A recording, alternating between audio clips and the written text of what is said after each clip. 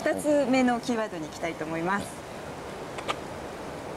見えないところでお手入れの苦労、えー1年ぶりにまあね、はい。今年も鯉のぼりの季節がやってきたということになると、1か月前ぐらいから準備を始めるそうです。出してくるところから始めて、はい。はいこれあの観光協会の方であのこの行事があのスタートした時点でですね日本全国からあの、えー今不要になったその鯉を、えーあの郵送してもらってですねでそれをあの一箇所にまとめて、まあ、大きさですとか色ですとか、えーそういうものをあのこうチェックしながら、はい。あの1ヶ月前から準備してるんですけどももう長年使っているとあのやっぱりこう破れたりですとかね。どうしても傷んできますもんねそうです。色あせたりとかっていうことがあるもんですから、えーはい。なかなかあのなるべく綺麗なコイを見せようというまあ、あと大きさが問題なんですけども、はいあのやっぱり10メーター6メーター8メーターっていうようなコイが本当は欲しいわけですよね、こういううんそうねのこれだけえー大きいスペースなわけですからね。そうです。はい。でそれに今え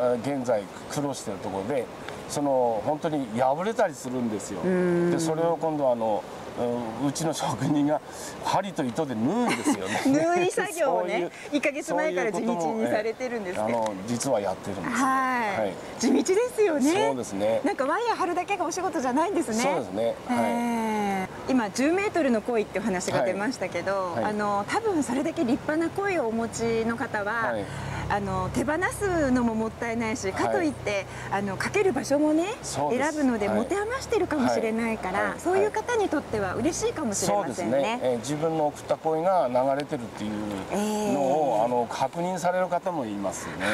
あーなるほど。あのテレビで見たんだけど私の送った声がええ。泳いでないというような 連絡もあの受けたことありますね。多分あの家で見てた鯉とやっぱりこうかかってる場所がこういうこう遠くでね大きくかかると、ね。はい。家で見るよりもちっちゃく見えて、ええええ自分の鯉が見つけられないのかもしれませんね、さあそれでは3つ目のキーワードに行きたいと思います。雨風に負けずメンテナンスはいということなんですけれども、ええそれであのワイヤーを張ってですね声を流すところまではまああのメインのえー仕事なんですけれども、はい。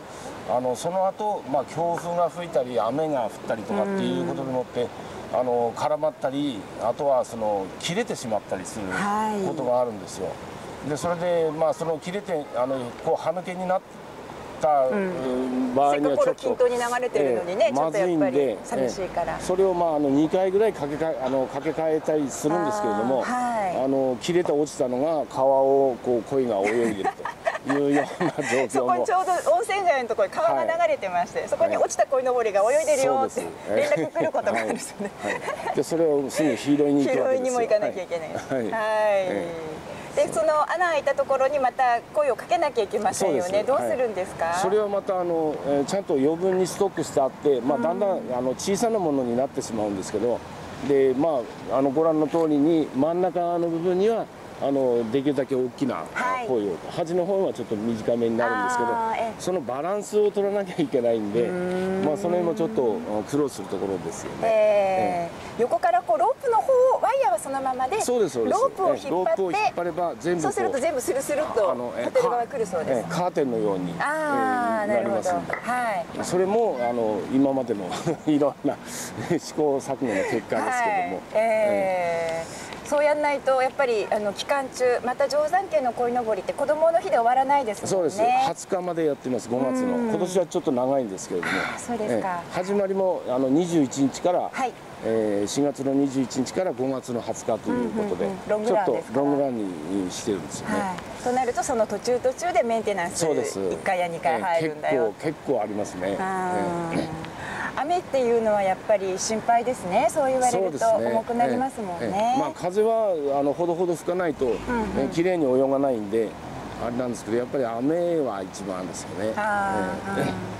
このまあ今までその塩ビを通したのを竹にしたりね、はい。はい。その鯉の間をこう口のところにワイヤーこう結んでと、はい。そういうようなあの作業スタイル自体が、はい。今なんかこう定山系スタイルという感じで ね。他の地域の方がこはい。こをあのモデルにして、はい。あの自分の地域でもということで視察がいらっしゃるそうでね。はい、そうですね、あの江別の市役所が1回、あのどうしてどうやって揚げてるんだということでそのノウハウをこう教えてくださいということで、はい、あの今もあのちょっと川の名前忘れましたけどもあのあちらの方で、あの川を渡してえー、声をあの流してますね。でそれは定山渓と同じやり方でやってるみたいですね、はい、定山渓方式、はい。えーま、お問い合わせはまた あの社長のところまでと思いますけれども、はい、地域にこういったあの企業があったことで本当にスムーズにねましてあの今日取材して初めて分かったのはもともとのその最初に手を挙げた、はい、ね、仕掛け人の側だった先代の話も伺いました、どうでしょうか最後に一言えーと、やはりその先ほどから言ってるようにその大きな声がやっぱり欲しいんで、うん、あのできれば、まあ、あのそういう話を聞いた方あの1人でも2人でもですね、はい、あのより大きな声が、えー、観光協会に届くように、えー、願っております。なるほど、はい、じゃああのここを見に来た方がこんなにたくさんあるからもういいかっていうんじゃなくて、はい。ね、常にやっぱりその新しくしていかなきゃいけないらしいので、あの日焼けして色あせしたりなんかしてるもんですから、これを選ぶのに大変な思いをしてるんですよね。